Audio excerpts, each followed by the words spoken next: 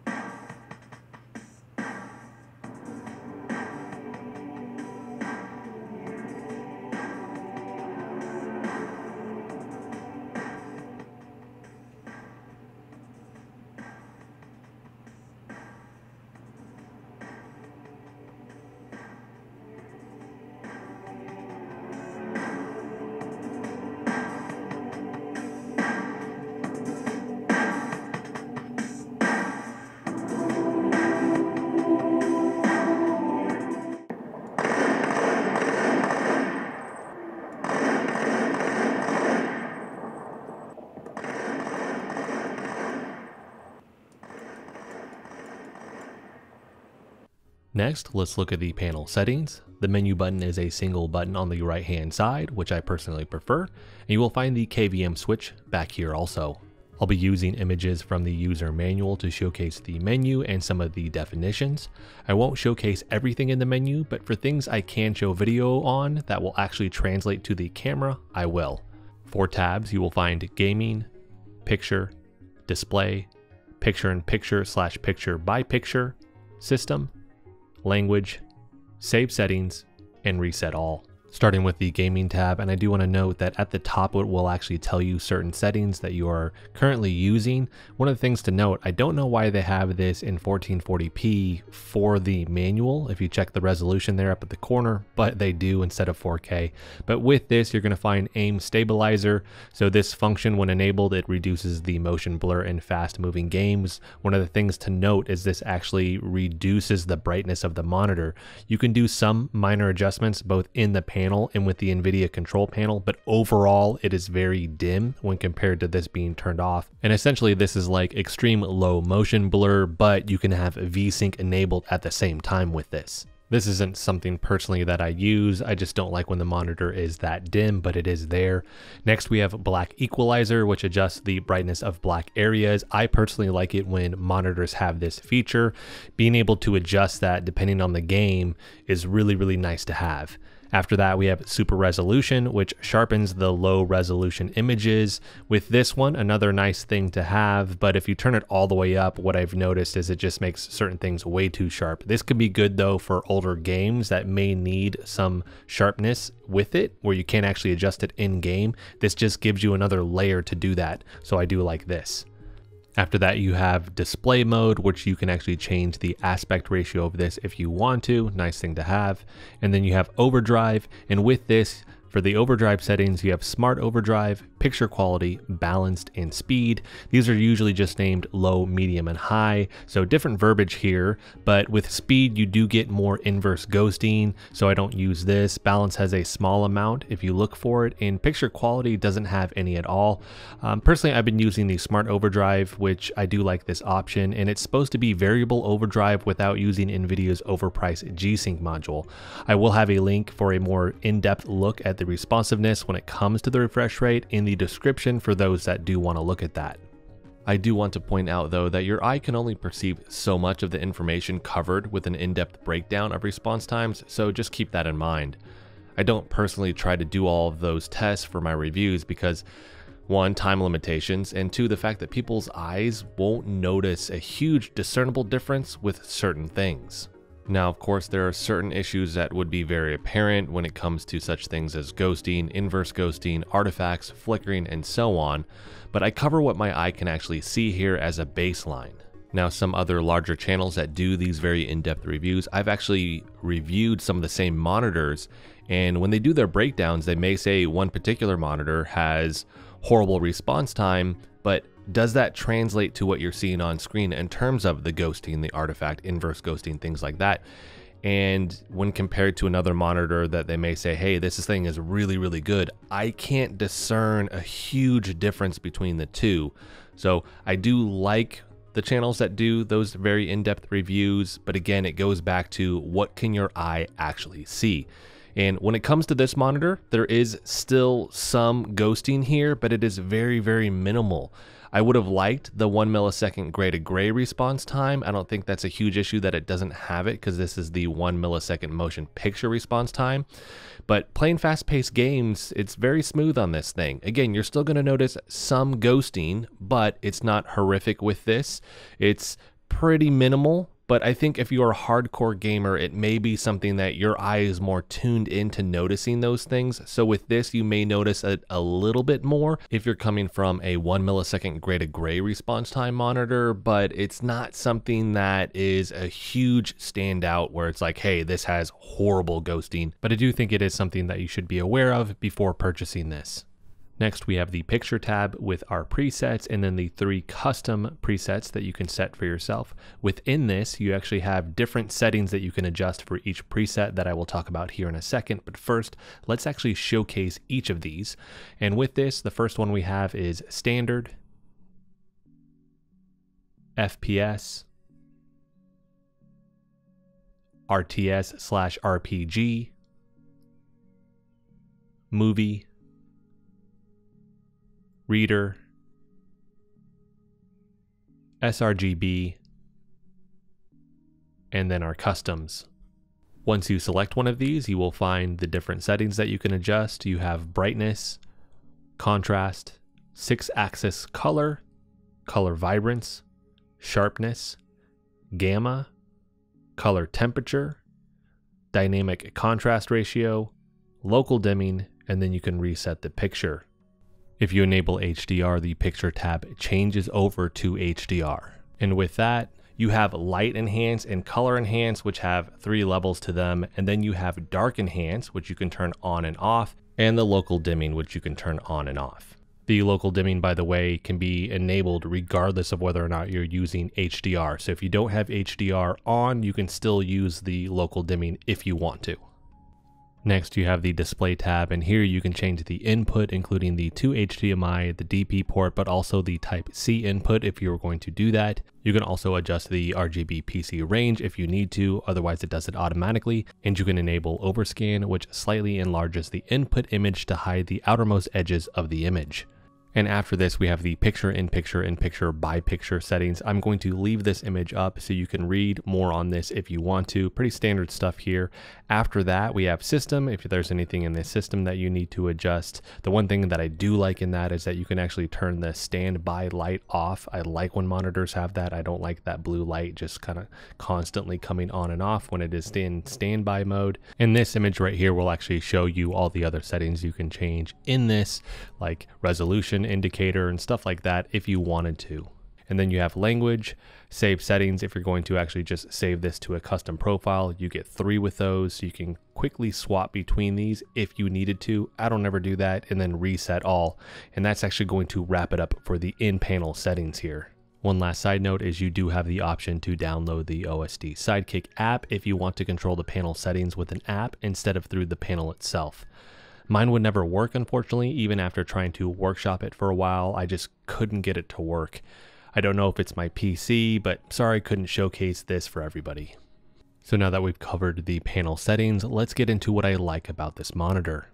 The M32U for me checks almost all the boxes I want out of my personal monitor, so this for me right now is actually top of my list for a monitor that I like. The 32 inch size is what I prefer. 27 inches to me just feels a little too small, and I really do love ultra wide monitors, but not everything displays in a 21 by 9 aspect ratio, especially when it comes to content. So the size here just feels great, and I love seeing more options in the 32 inch size, especially when it comes to 4K. 27 inches to me at 4K just seems a little bit of an overkill in terms of the resolution, while the 32 inches here feels like it actually displays that better. There is a 28 inch version of this monitor though, that is the M28U if you do prefer that size. Speaking of the resolution though, it looks incredible here and if you have a GPU that can handle 4K, this is the way to go.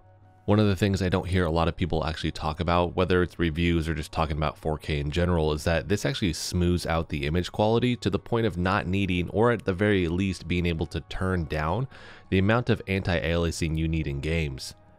Gaming on this monitor has been such an incredible experience. It's the first time I've not really wanted to go back to 1440p because the picture here is just so good.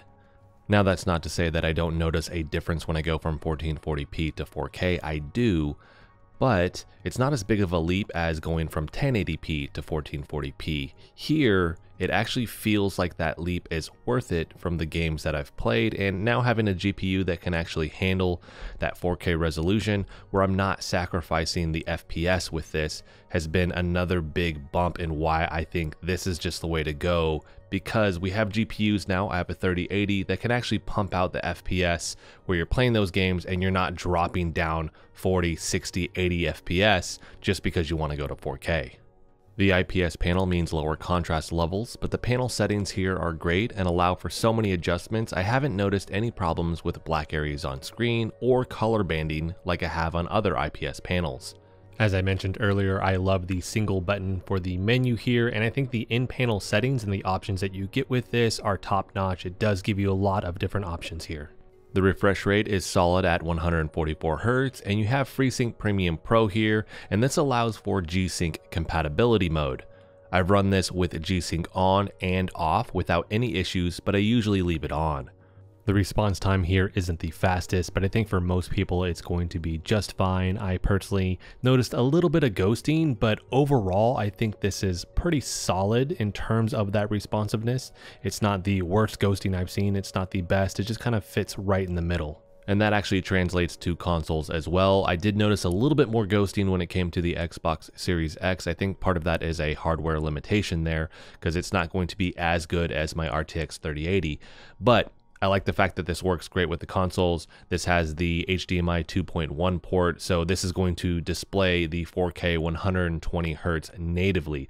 So no upscaling here. When you have a 1440p monitor, it usually upscales to that 4K signal. With this displaying naturally, it just looks a little bit better, obviously, than it would if it had to upscale. So this is run very, very smooth for the Xbox Series X. Still don't have my hands on a PlayStation 5, so I can't test that, but I can tell you for the Xbox, it runs great. Keep in mind, not every single Xbox game is actually optimized to do the 120 hertz. I've noticed certain games, it's saying it's displaying 120 hertz, but it's really not. And sometimes it's even just displaying the same frame twice. But for those that do have the 120 hertz, it does look really good. Next, the extra USB ports here are a huge plus for me. I've mentioned this with all my reviews. I just like being able to connect all my peripherals to my monitor because they usually run out on the back of my motherboard. So huge plus there. And this also has a USB type C input that you could actually use to help display another monitor or you could use it for quick charging. Next, the KVM switch that's built in is something that I actually didn't realize I needed, and that stands for Keyboard Video Mouse. And this actually gives you the ability to plug in a mouse and keyboard to the display and then use the USB Type C cable to connect a laptop or an iPad or any type of tablet to this and then display that onto the monitor. And I think that's awesome. I'll have video pop up right now showcasing this feature with my laptop and notice the mouse doesn't work until I press the KVM switch to change over to the laptop. Now this is the laptop I use in my bedroom and now I want another one of these monitors because I could actually use this for a bigger screen. With this, I was able to run 4K at the 144 Hz with a USB Type-C 3.1 gen cable, but my laptop only has an RTX 2070 in it, so 4K on this was kind of a bust when it came to more graphically demanding games like Doom Eternal. Running it at 1080p was fine though, which is actually what I'm showcasing here. It wasn't able to display this in 1440p for some reason. I don't know why there was kind of a breakdown with that. I can run 1440p at 144 hertz on the monitor from my laptop, but in that game, for some reason, it would never pop up. Now right now my camera is actually focused on the laptop the lenses and it's not focused on the monitor because it was having trouble staying focused on that. I don't know if it's the angle and the speed of the game. It just kept on trying to literally shift in and out of focus. So unfortunately, right now it's just focused on the laptop, but I assure you that's just the camera doing that. The monitor looked fine. I was able to run Terraria in 4K with slightly less trouble, just it's not as graphically demanding, but it was still pretty apparent that there was stuttering going on. I even changed the settings to have just the M32U on and not my laptop screen, but it really didn't impact performance, unfortunately. At 1440p, it was slightly better, but again, this is just because of the hardware limitations here with my GPU in the laptop. I wasn't able to get the iPad or my iPhone to connect to this, unfortunately. It did say that you could do it with a tablet or a phone. I'm wondering if that is more based off an Android device versus an Apple device, though. I don't own any Android devices, so I couldn't test that out, so my apologies on that. But overall, I am pretty impressed with this feature, and I hope to actually see this on more monitors. Next, the speakers here are surprisingly good. They get louder than I thought they would, and they have a decent amount of bass. Most monitor speakers I've used in the past sound really flat, but this doesn't. So if you don't plan on getting external speakers, these will definitely be okay to use long term. And last is the price, which I think is what most people will be attracted to when it comes to this monitor, as it's much less than other monitors with similar specs on the market. This has a list price of $799, but I got mine for $739. It's currently on sale for $759 on Amazon, so the price seems to fluctuate a little bit here, but I've noticed it's usually on sale. Quick side note, if you ever do buy a monitor off of Amazon, make sure you check the manufacturer's spec sheet on it because Amazon's listings are usually wrong. The listing for this monitor says it's a 1 millisecond gray to gray response time and it's actually a 1 millisecond motion picture response time. This has actually happened with almost every single monitor that I've bought off of Amazon where there's usually one or two specs wrong. I don't know where there's a breakdown between the company sending Amazon these specs or if it's on the company side and they're sending just wrong specs, whatever's going on. It usually is something that I double check these specifications against the manufacturer's actual website listing on this just to make sure, but I did want to point that out for everybody. Next, let's move on to the negatives here, which I really just have one standout, which is the HDR. The HDR here is 8-bit plus frame rate control and not true 10-bit color, but honestly your eye won't really tell the difference unless you are editing or viewing a lot of HDR content. It is certified HDR 400 by VESA, but at this price point, I would have liked to have seen 600 nits as the minimum, and from what I've been able to find, this actually has 16 local dimming zones. The local dimming here is okay, but it can't touch other monitors with hundreds of zones. With this, you can actually enable this without HDR being enabled also. So if you really do need HDR, I wouldn't get this as there are other monitors out there with better specs when it comes to that, but those do come with a much higher price tag. You don't enable HDR in the panel menu, you have to enable 10-bit color in the NVIDIA control panel and HDR in the Windows settings, which is different from other monitors I've used before. One of the things that I do like about the HDR is the subtle options that you have with the HDR in the panel menu settings. So to me, HDR really just feels like it's something that's been tacked on to this monitor. It doesn't feel like it's a main feature here. So if that's something you really need, I would definitely look at a different monitor other than this one. So now let's shift over to the gray area stuff, which are things you may or may not care about. Starting off with the aesthetics, which to me is for gamers really, and I personally like this look, but I don't think everyone will. This doesn't have any lighting on it also, which is a cool bonus if you need the lighting and it's there, but I don't personally care about lights on the monitor because that's not something you really actually see. Usually it's on the back and it kind of reflects off of a wall, but it's not something that you're highly aware of. Next, this is a flat panel, and I've noticed there aren't many IPS or 4K monitors out there with curves. I already really like this monitor, but the one thing I think it's missing is a curve. I just prefer curved monitors. They feel more natural to my eyes. And although it's not a deal breaker by any means, this is a flat panel. And if you're coming from a curved monitor, it can be an adjustment going back to a panel that is flat. And that's actually going to be it for the gray area. That's actually a smaller section also, but a couple things I do want to cover because I know I will get questions about them. Text quality on this monitor is really good, both in game and writing. I rate all of my reviews on the monitors I'm reviewing and I haven't had any issues here at all. This looks really good. And last, backlight bleed is here. It's very minimal and I don't actually notice it affecting any of my games, especially the ones that are darker with this. And if I'm playing in a completely dark room, it's there, but it's not highly noticeable. So in conclusion, this is a great 4K monitor that checks a lot of the boxes you might need while not breaking the bank quite as much as other monitors with similar specs on the market.